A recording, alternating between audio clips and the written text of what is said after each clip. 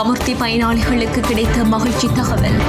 கோட்டாபாயவின் கூட்டத்திற்கு வர வேண்டாம் அமைச்சருக்கு சென்று அறிவித்தல்.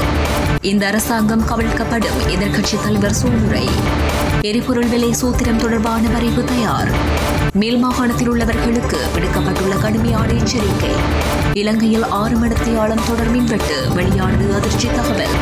இலங்கை மக்களின் பரிதாப நிலை ஐநா வெளியிட்ட பகிர் தகவல்.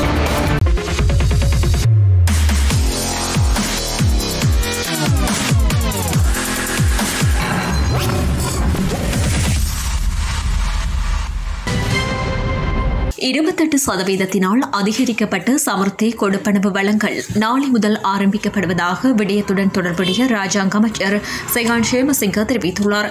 அனுராதபுரத்தில் வைத்து இன்றைய தினம் ஊடகங்களிடம் கருத்து தெரிவிக்கும் போதே அவர் இவ்வாறு தெரிவித்துள்ளார். இதன்படி தற்போது வரையில் மூவாயிரத்து ஐநூறு ரூபாவை பெற்ற சமர்த்தி பயனாளர் குடும்பம் ஒன்றுக்கு நாலாயிரத்து ஐநூறு ரூபாய் கொடுப்பனவு கிடைக்கப்பெறும். இரண்டாயிரத்து ஐநூறு ரூபாய் கொடுப்பனவை பெற்ற குடும்பத்துக்கு மூவாயிரத்து இருநூறு ரூபாய் கொடுப்பனவும் ஆயிரத்து தொள்ளாயிரம் ரூபாய் கொடுப்பனவு பெற்ற குடும்பத்துக்கு இரண்டாயிரத்து ஐநூறு ரூபாய் கொடுப்பனவும் கிடைக்கும். இதற்கமைய எந்தவொரு சமர்த்தி பயனாளியும் சமர்த்தி வங்கி மூலம் நாளை முதல் அதிகரிக்கப்பட்ட கொடுப்பனவை பெற்றுக்கொள்ள முடியும் என்று அவர் மேலும் தெரிவித்துள்ளார்.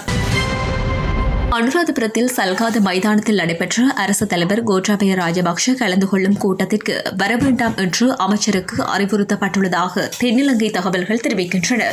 பசலை பிரச்சினையால் விவசாயிகள் கமத்தொழில் அமைச்சர் மஹிந்தானந்த அழுத்கமகி மீது கடும் எதிர்ப்பை கொண்டுள்ளதால் அரசு தலைவர் இருக்கும் மேடையில் கமத்தொழில் அமைச்சருக்கு எதிராக சத்தமிட்டு மக்கள் எதிர்ப்பை வெளியிட்டால் அது அந்த அளவுக்கு பொருத்தமாக இருக்காது என்பதால் இந்த நடவடிக்கை எடுக்கப்பட்டுள்ளது. இதன் காரணமாக பொதுஜன பெரமுனவின் பிரதான பேச்சாளர்களில் ஒருவரான மஹிந்த அழுத்கமகே இம்முறை சல்காது மைதானத்தில் நடைபெற்ற கூட்டத்தில் கலந்து கொள்ளவில்லை. எவ்வாறாயினும் கூட்டத்தில் கலந்து கொண்ட மக்கள் பசலை பிரச்சனையை எழுப்பி தமது இந்த பிரச்சினைக்கு தீர்வு வழங்குமாறு கோரியதாக எதிர்க்கட்சிகள் தெரிவித்தனர்.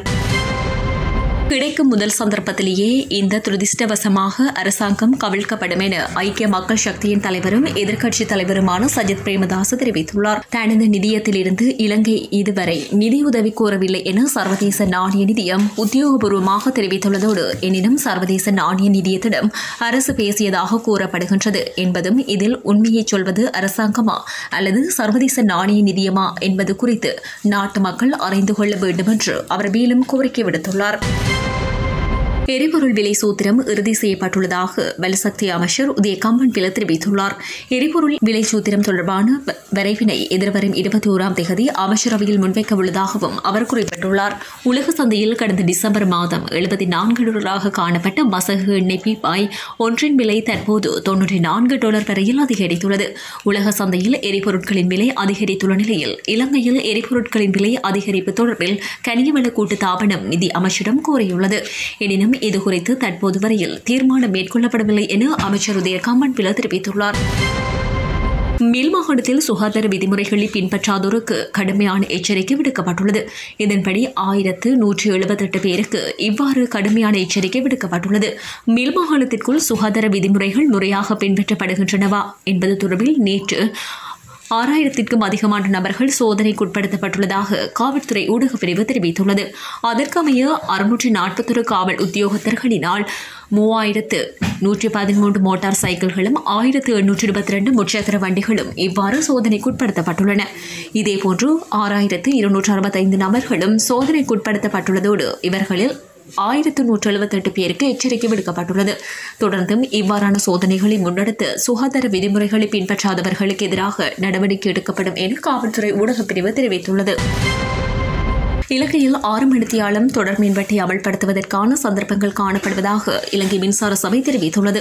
இலங்கையில் தற்போதைய நிலைமையில் தொடர் மழை வீழ்ச்சி கிடைக்காவிட்டால் எதிர்வரும் ஏப்ரல் மாதமாகும் போது மின் உற்பத்திக்கு பாரிய அச்சுறுத்தல் ஏற்படும் என அந்த சபை தெரிவித்துள்ளது. இந்நிலையில் ஆறு மணித்தியாலம் தொடர் மின்வெட்டை அமல்படுத்துவதற்கான சந்தர்ப்பங்கள் காணப்படுவதாக மின்சார சபையின் சிரேஷ்ட பேச்சாளர் ஒருவர் தெரிவித்துள்ளார். நாட்டில் பொருளாதார ரீதியில் பலவீனமடைந்த குடும்பங்கள் உண்ணும் உணவை குறைத்துக் கொண்டுள்ளதாகவும் சத்து குறைந்த ஊட்டச்சத்துக்கள் குறைந்த உணவுகளை உண்பதாகவும் ஐநா அமைப்பு தெரிவித்துள்ளது.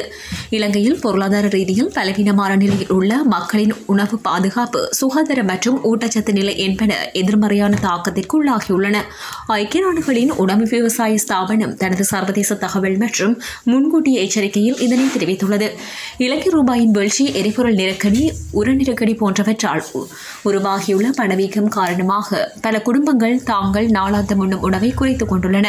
இலங்கையில் அரிசியின் விலை செப்டம்பர் நவம்பர் மாதங்களில் அதிகரித்தது. டிசம்பரில் ஓரளவு நிலையாக காணப்பட்ட பின்னர் மீண்டும் விலைகள் அதிகரிக்க ஆரம்பித்துள்ளன.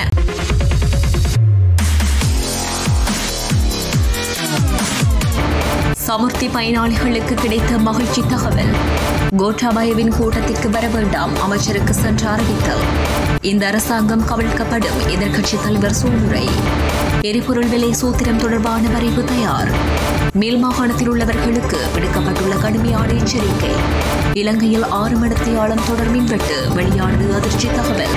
இலங்கை மக்களின் பரிதாப நிலை ஐநா வெளியிட்ட பகிர் தகவல்.